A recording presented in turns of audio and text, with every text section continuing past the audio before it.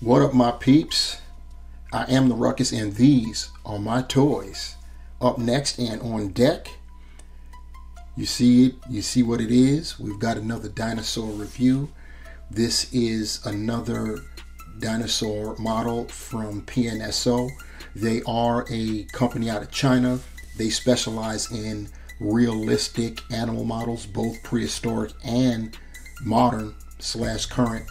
This figure right here is Olorotitan.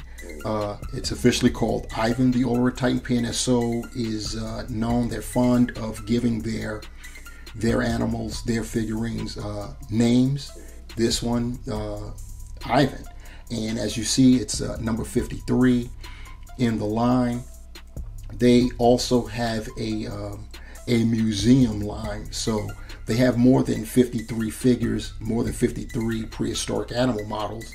They also have um, several models from their um, from their museum line, um, and uh, that line is impressive too. It's a 135 uh, scale, so they try to um, match up the animals um, as closely to scale with one another as possible. It uh, doesn't work all the time. Sometimes I think they uh, forget, but they still list as 135 scale. Um, later, when I get to some comparisons, you'll see what I'm talking about. But um, yeah, so we've got Ivan, the uh, the Olorotitan, and uh, yeah, looking at the box, you see what it is. It's got a uh, a picture of Ivan on the front. You see it's it reads PNSO prehistoric animal models that accompany your growth. Uh, number 53, Ivan the Olorotitan. Uh, they give them names, I think, because they do want to um, cater to children, even though these these uh, models are uh, higher end and uh, they do cost.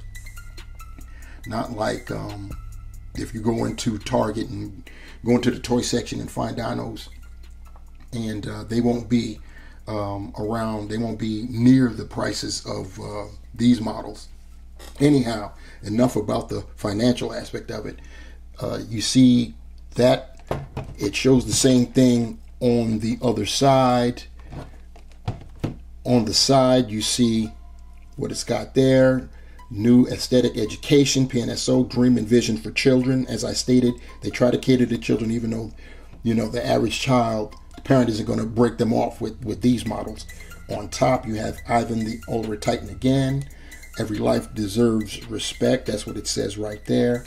And uh, yeah, that's about the size of it. So uh, next up, let's get Ivan out of the box and see what he looks like in person. Ivan the Olorotitan comes with this booklet that's included and um, it's filled with all kinds of things, photos and stuff like that. You see, you got your table of contents there. I am Ivan the Olorotitan. You see some beautiful artwork, and like I said, they specialize in um, making these uh, models look as realistic as possible. I mean, that uh, that just looks that that looks incredible. You have uh, literature, and uh, like I said, they uh, they try to cater to children. This is like little bios or what uh, you know um, the uh, the subject in question in this case Ivan has a little read up. It's like he's talking to the children. I am Ivan Olorotitan a hadrosaur dinosaur that spends its entire life pursuing elegance etc etc etc more more artwork this is showing how uh, how they are uh, how they move, the locomotion. This right here is just basically the uh, Titan is rearing up because Hadrosaurs, which is uh, the family of dinosaur that Olorotitan belongs to, they were um, quadrupedal. In other words, they walked on four legs, and uh, but they were capable of rearing up. So that's what that's trying to demonstrate. You've got more artwork, and uh, it just goes on and on. It's just cool. They show different angles what have you. You can just continue on. This right here is an illustration. This isn't the uh, actual model. Uh, as you can see, the model is actually posed rearing up, but it keeps going. There's all kinds of uh, info and things of that nature in this booklet. Also included is this poster of an Olorotitan in its natural habitat. Um, yeah, they they give you uh, PNSO gives you uh, a lot of um, um, extras and uh, with the artwork and stuff, pretty nice. Ivan also comes with a stand. PNSO usually includes stands with their bipedal uh, dinosaurs to help keep them stable. Uh, they tend to, uh, they'll stand well pretty much on their own in the beginning, but over time gravity takes effect and they are front heavy and uh, it ends up making them um, fall down, especially when it's warm. Uh, I usually have problems, and I'm sure uh, most of you collectors uh, know what I'm talking about when um, the summertime comes and it gets hot. The plastic from your figures they get soft, and um, we have more uh, accidents and fall downs in the summertime than um, the rest of the year.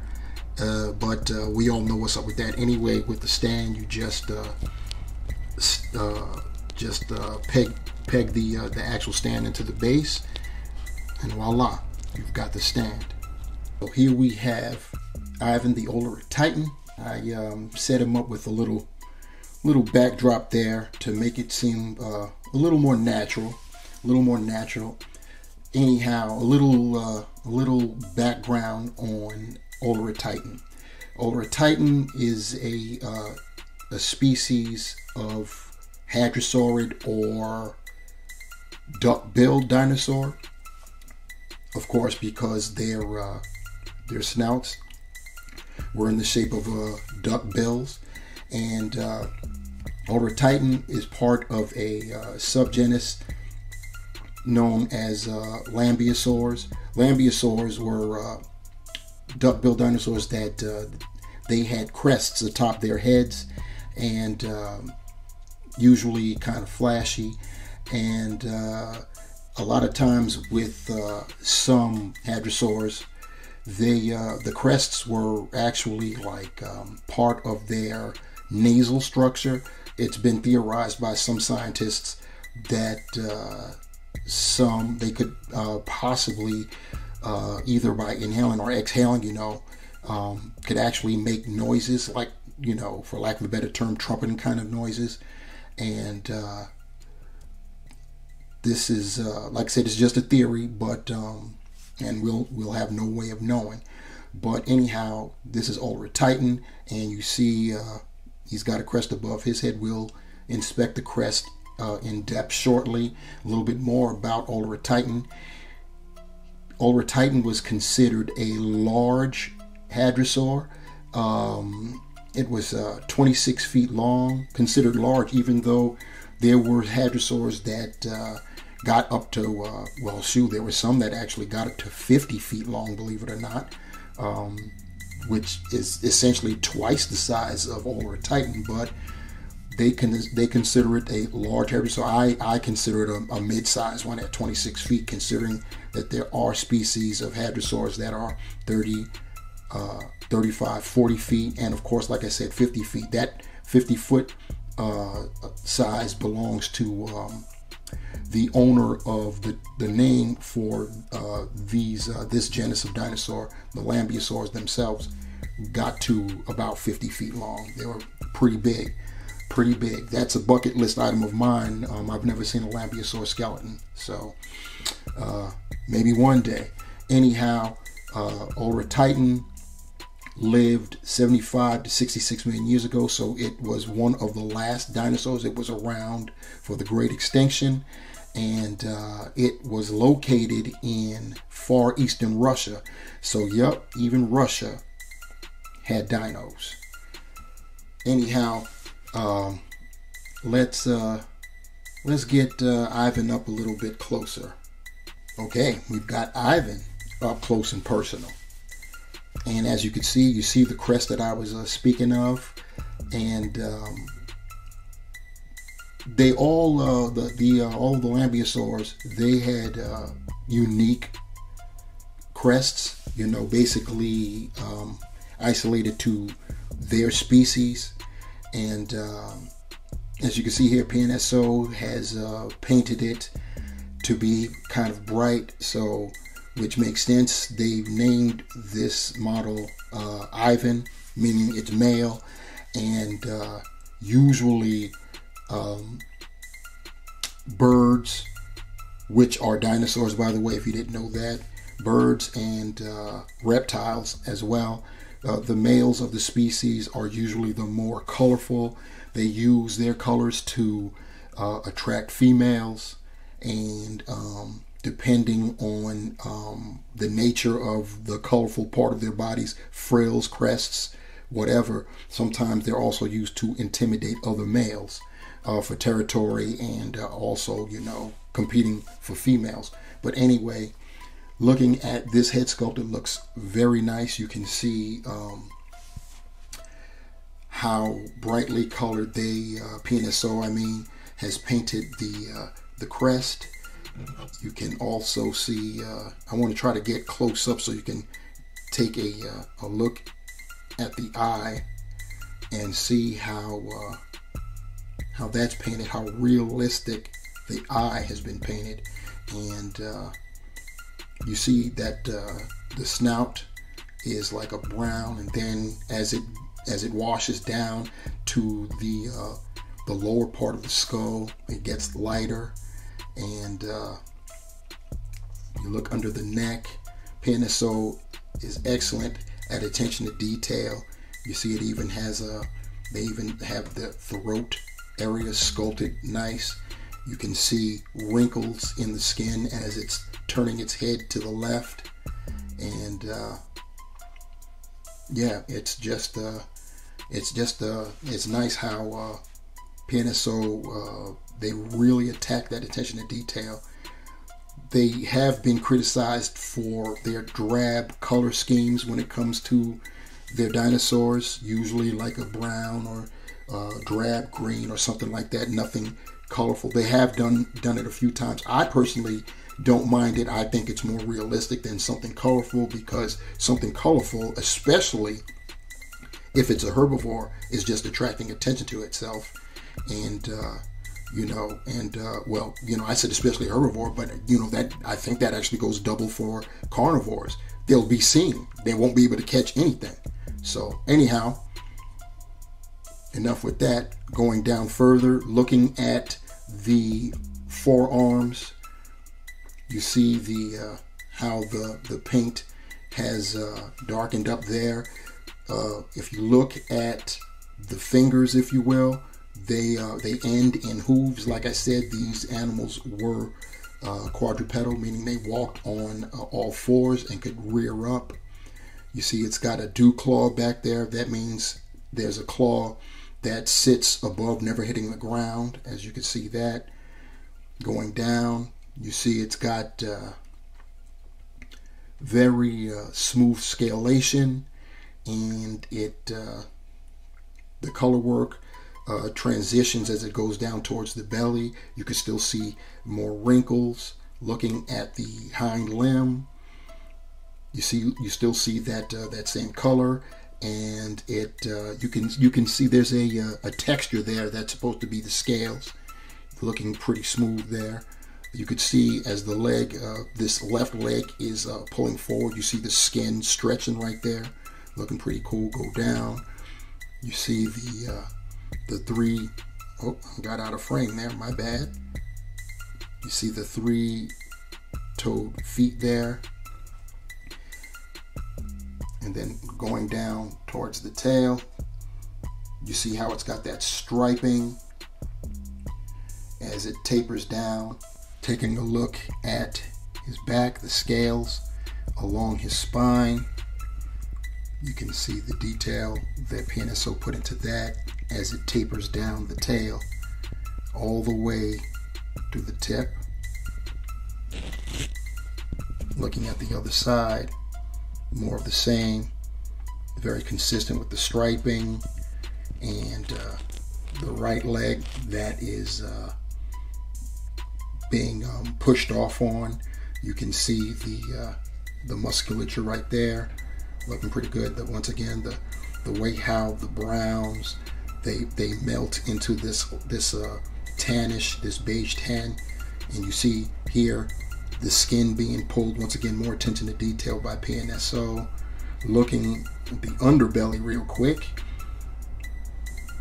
This is attention to detail. They included a cloaca, which is the poop chute, basically. And uh, once again, you see the uh, the stretching of the skin there with the neck.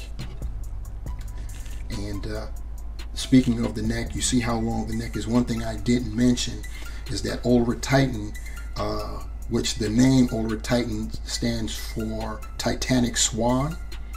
And uh, it got that name because uh, one of the things that that distinguishes this species of hadrosaur is it had a longer neck than most. Um, not to get too into anatomy here, but hadrosaurs are known for having 15 vertebrae in the neck, and Olorotitan had 18. So that's where it gets its name from.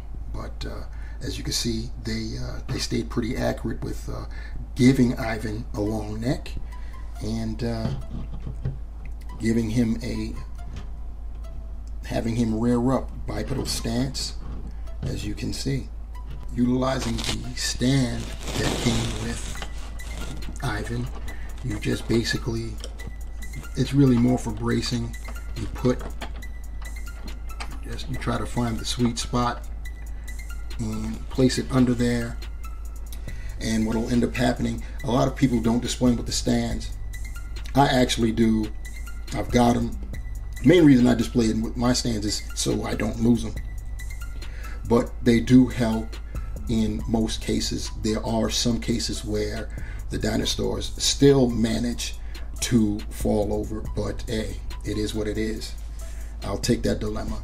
But um, yeah, so that is Ivan. That's that's how you uh, utilize the stand. What I failed to mention earlier was uh, I did mention that uh, obviously Ivan is in a bipedal stance, he's reared up. What I failed to mention is that in order for PNSO to achieve this stance, they've got Ivan's tail touching the ground.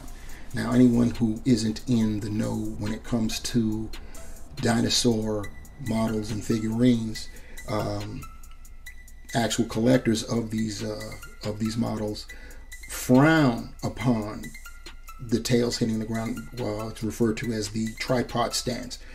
Uh, we would prefer that um, the animal stood on its own two feet, no pun intended. But um, obviously, in order to achieve certain poses, you got to do what you got to do. So it is what it is. Um, I'm one of the ones that frown upon it, but I don't complain and whine about it because um, I understand uh, a lot of times why it happens. Um, they have managed to, you know, on, uh, when it comes to their theropods, meat-eating dinosaurs, to achieve this without the tails hitting the ground. But uh, that's another story. Anyway, what we're going to do now is uh, bring in some family members of Ivan, uh, starting with this guy right here. This is the Lambeosaurus that I spoke of. This is the uh, this is the species that this uh, subspecies is named for, and uh, as you can see, if I try to uh, get him lined up, uh, as I stated earlier, Lambeosaurs were uh, larger than Olorotitan.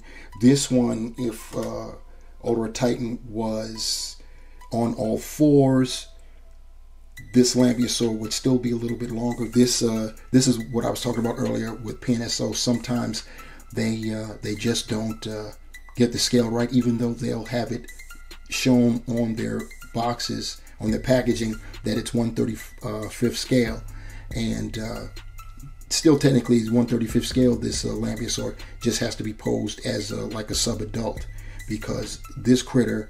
Um, should be, uh, if they were going to be accurate with its size, it would be about twice the size of the Olorotitan because lambeosaurs were um, they could grow up to 50 feet long. And uh, to give you an idea about how they'll be all over the place with their scaling, I'm going to bring in another dinosaur as I take away the lambeosaur. And uh, I'm going to bring in a Corythosaurus. This right here is, uh, you may not want to stand, but uh, I'll just, uh, let's see if I lean him up against the rock there. Yes, as you can see, he's just dwarfing the Olorotitan as I got him uh, posed there. I'm going to try to, uh, hopefully I won't knock him over. If I do, forgive me. But I'm going to try to move Ivan in front of the Corythosaur. And you see how large the Corythosaurus is. This is totally wrong. If anything, this should have been the size of the Lambeosaur. Corythosaurs were um, around the same size as Olorotitan, uh, actually a little bit bigger. They're around 30 feet long. But as you can see, they've got it all over the place. And then you see the, the coloration uh, that I spoke of before. This is one of the few times PNSO um, used bright colors. The funny thing is they used this bright yellow and brown and still managed to make it kind of drab. But that's the Corythosaur. And uh, we've got one more. And we're going to uh, now pose him with a Parasaurolophus. And uh, this dinosaur is definitely uh, known. It's been seen in Jurassic Park. Let me move let me move Ivan out the way so you can see what I'm talking about. In fact, let me turn him around. And then I can put Ivan in front of him. So there you go. That's a Parasaurolophus. As you can see, you see it also has that, uh, it's got its own unique headdress right there. And um, they used to believe uh, back in the day, scientists used to believe that um, dinosaurs such as Parasaurolophus and Corythosaurus, they used their crests were like um, air tanks. They breathe in and uh, hold air there so that they can, um, you know, stay underwater extended periods of time. And um, I believe they've long since abandoned that theory. But uh, yeah, so that's uh, an Olorotitan uh, next to a uh, Parasaurolophus, which, by the way, I think the Parasaurolophus is, uh, yeah, the Parasaurolophus is more or less to scale. If we're going to say that the Olorotitan is 26 feet, then uh, the Parasaurolophus looks to be about uh, 30 feet long. Um, and uh, I think I did not mention that uh, Titans were about five and a half tons too, whereas uh, Parasaurolophus was like about six, almost seven tons. So to sum it all up, Ivan the Olorotitan by PNSO is a, uh, for me, a wonderful addition to my PNSO collection. Like I said, uh, they specialize in making very lifelike and realistic dinosaur models, animal models, period. The uh, I love the uh, the paint, especially on the crest, how bright it is, how lifelike the eyes appear. I love the rearing up stance, even though they had to achieve this by making the animal uh, a tripod. It is what it is. Uh, you see how I've got him posed on this uh, this uh, mountaintop uh, with the tail hidden by uh, the the fauna there, the flora, I should say, and you can't tell that it's actually on the ground. And um, I, uh, like I said, I love the paint. I love how the brown just uh, melts into the lighter colors. It actually melts into like two different colors. it gets a lighter brown, and then it goes into like a, uh, a pale tan for the underbelly and the undersides of the legs. The uh, accuracy with the, uh, the the hooves for the forearms, the forelimbs, and the three the three clawed toes for the uh, for the rear. The hooves on the limbs. of the front limbs, um, excellent. The paint, the striping of the tail, just a, just a, just an excellent figure. Uh, pretty much in scale. I am very, uh, very happy to uh, to add this dinosaur to my collection. Um, my problem is I just don't know where I'm going to put them. I've got uh, all my spaces uh, filled up with uh, with action figures, but it's a nice dilemma to have. And another dilemma is I've got to end this video sometime, so it may as well be now because it's probably already running long. I guess I'll see when I do the editing, huh? Anyway, any of you that have hung around this long with me, thank you for rocking with me. And uh, please spread the word. I'm trying to, uh, still trying to get to that 100. It's amazing how everybody talks about getting to a thousand, five thousand, one hundred thousand, and I'm still trying to get to hundred. Um, so yeah, help a brother out. Hit the uh, the share button, or rather share. Hit the uh, the subscribe button and the like button is what I should be saying. Um, and smash the bell so you can be notified when I upload another video. Once again, thanks guys for rocking with me. Until the next time, my peeps, remember, the hunt continues. And I'm out. Peace.